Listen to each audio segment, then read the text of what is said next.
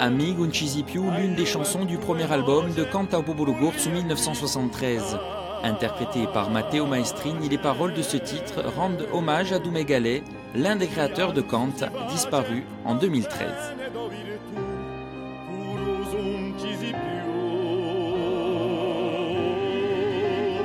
C'est une chanson écrite par Alain Di mise en musique par Christophe McDaniel, qui est le cousin germain de Doumé Gallet, à qui est dédiée cette chanson, bien sûr. Et euh, c'est un immense honneur qu'il me fait de, m'avoir demandé de l'interpréter, en fait. parce que Doumé, pour moi, c'était la voix. Petru Guelfucci, Minical et sans oublier Jean-Paul Paulette, il est membre créateur de Cantabubolo Gortz où participe à la réalisation de cet opus.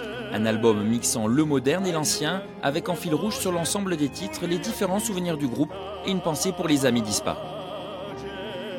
Moi, je voulais revoir et réentendre donc, et recréer avec les sons d'avant. C'est-à-dire de voir un petit peu le, chant qui était le nôtre, mais avec le monde d'aujourd'hui, avec des jeunes d'aujourd'hui, et des voix qui effectivement rentraient dans le véritable son de Kant. Parce qu'à Kant, il y avait quand même un son. Mais je pense que le cap à mettre là-dessus maintenant, pour nous le plus important, c'était la mélodie. Au total, ils sont près de 20 chanteurs à collaborer sur cet album où l'on devrait retrouver une quinzaine de titres.